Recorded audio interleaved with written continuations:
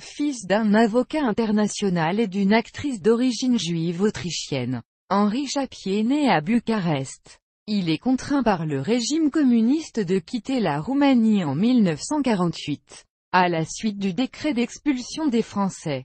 En 1958, il commence une carrière de critique cinéma en collaborant à l'hebdomadaire Art avec François Truffaut et Dominique Jamais. Pigiste à l'Express, il remporte le prix du meilleur journaliste débutant en 1959. Cette année-là, il entre à combat dont il devient le rédacteur en chef des pages culture.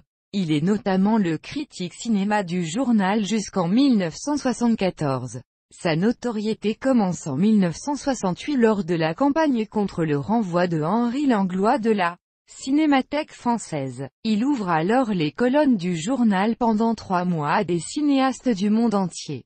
Jusqu'à la réintégration de Henri Langlois. Il obtient en outre pour son premier film Sex Power la coquille d'argent au Festival de San Sébastien de 1970, dont le jury est présidé par Fritz Lang. En avril 1974, Philippe Tesson crée le quotidien de Paris et demande à Henri Chapier d'assumer la rédaction en chef des pages culture. Il continue d'y tenir une rubrique de critique de cinéma. Il intègre FR3 en 1978 comme éditorialiste culturel et cinématographique. En 1980, il fait partie des trois rédacteurs en chef du Soir 3.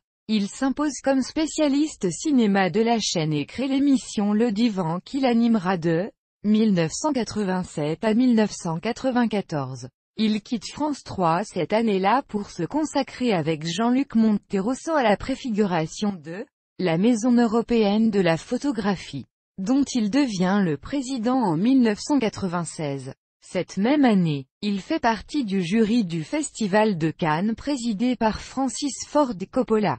Après avoir déjà été membre du jury de la Caméra d'Or en 1988. C'est en 1996 également que Jean-François Bizot lui propose de rejoindre l'équipe de chroniqueurs de Radio Nova.